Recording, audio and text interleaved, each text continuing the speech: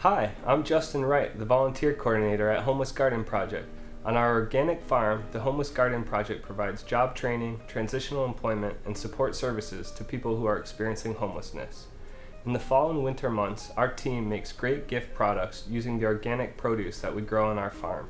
We'll be selling bath and body products, candles, baking mixes, dried flower wreaths, and more at our downtown holiday store. Opening on November 12th, Homeless Garden Project's holiday store will be located at 1338 Pacific Avenue in downtown Santa Cruz. The store is almost completely volunteer driven so that nearly all of the proceeds of our sales go to supporting the organization's mission, helping people find the tools they need to build a home in the world.